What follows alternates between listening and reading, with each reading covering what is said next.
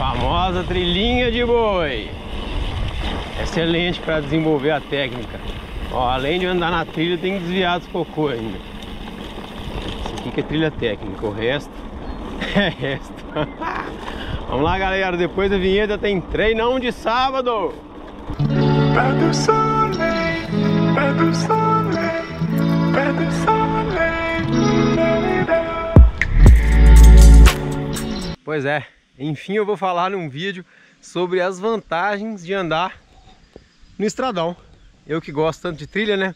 Às vezes esqueço de falar. Isso aqui tem muita importância e muito valor também para o atleta de mountain bike. E o vídeo de hoje é sobre isso. Estradão. E aí, quais são as vantagens de andar no estradão de terra?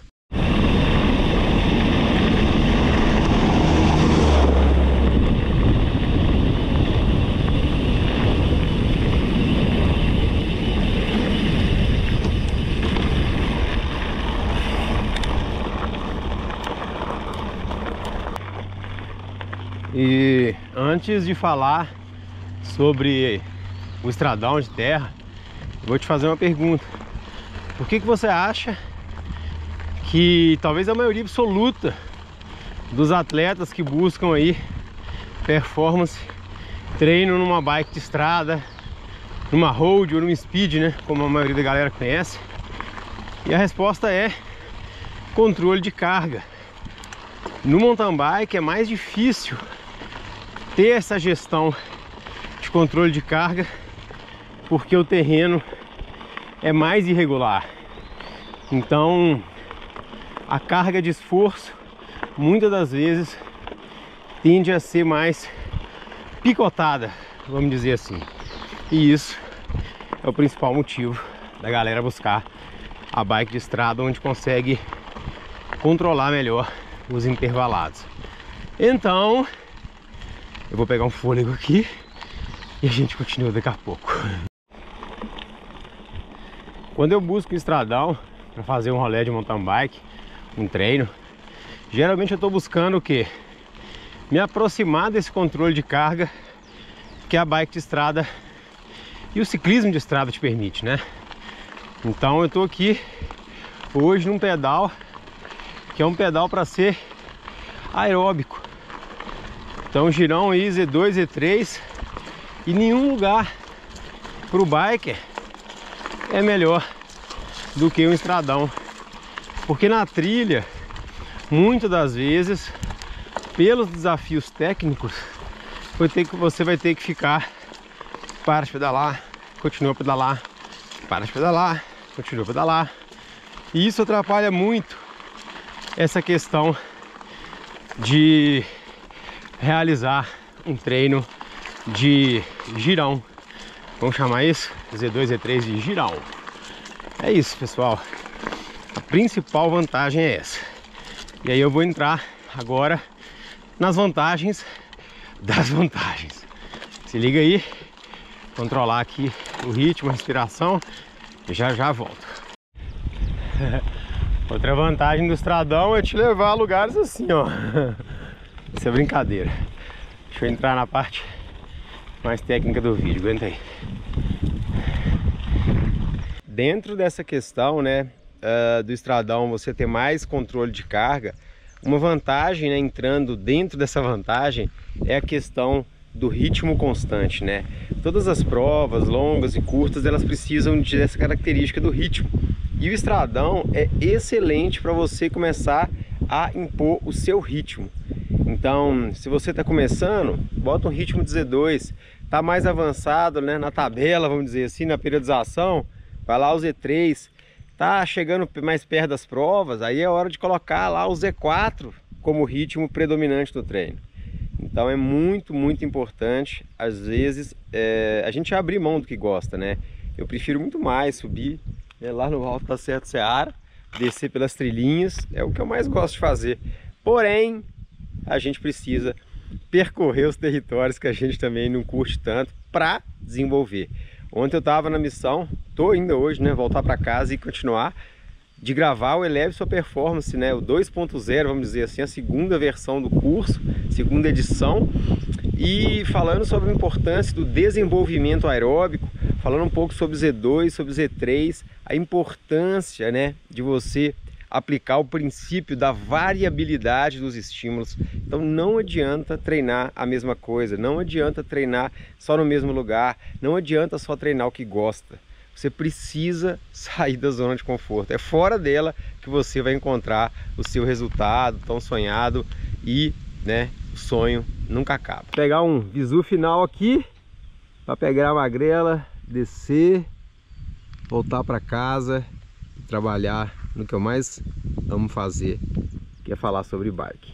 Tá aí a minha Exalt, maravilha, amo essa bike. Bora lá então? Uma outra vantagem de é, pedalar no estradão, mas talvez não tenha ficado muito claro para você, é sobre a pedalada constante, tá? Muitas das vezes a gente fica num, num hábito ruim, né? De nos treinos pega um planinho descendo, para de pedalar. Pega uma descidinha, para de pedalar. E hoje a ciência sabe muito bem que quanto mais tempo de pedal, mais tempo de geração de watts, mais desenvolvimento fisiológico você vai ter. Então eu tô descendo aqui, tô caçando macho para baixo. Vamos gerar watts aqui enquanto houver possibilidades, entende?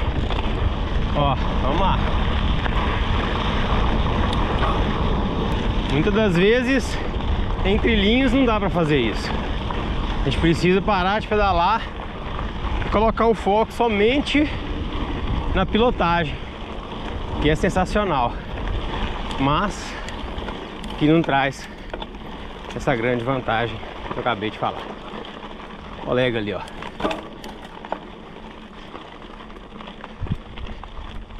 Bom dia, beleza? Bom, tranquilão?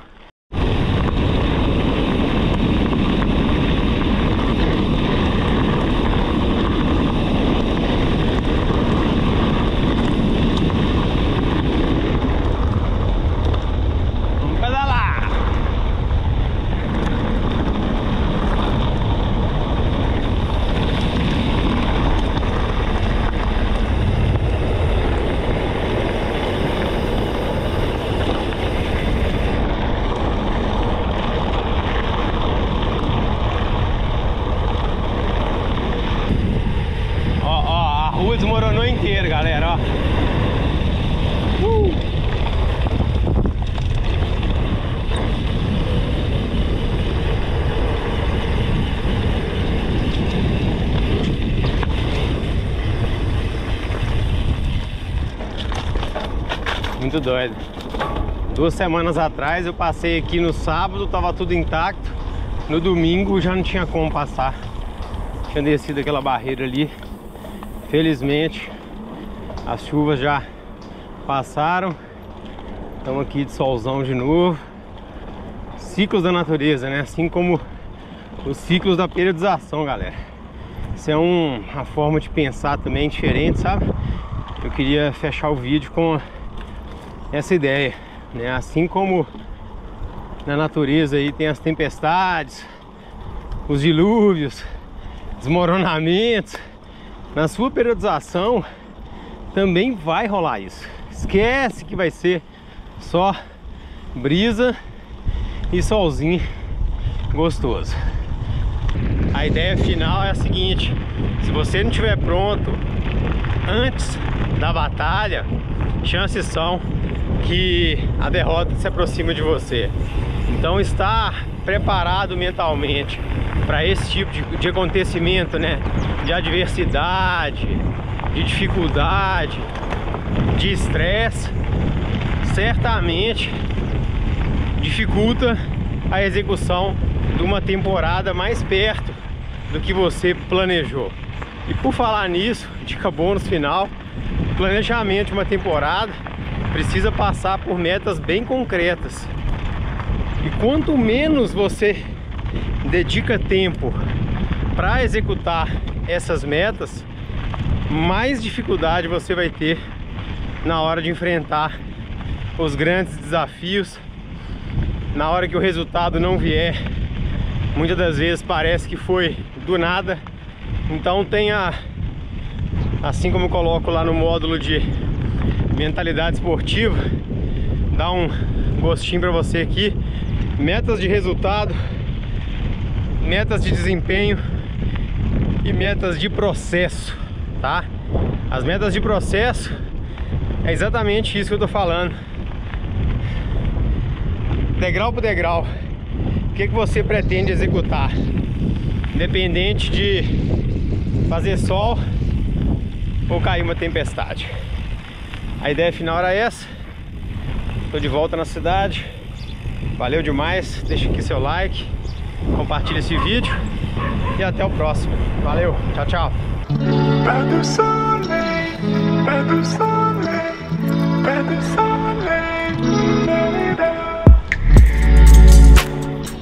Eis que do nada, indo pra casa, o que, que eu encontro? Barranqueira para descer. Eu cliquei na GoPro ali ela travou.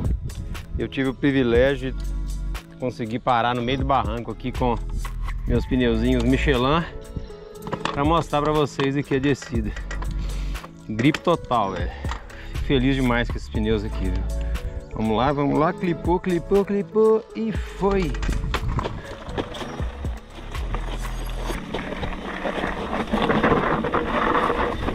Uhul! Sai da canaleta, sai da canaleta. Ih, deu a porrada? Você é doido. Ah, lembrei, esse lugar aqui. Eu desci aquele barranco ali de carro. Gipão. Voltar na trilha, né, galera?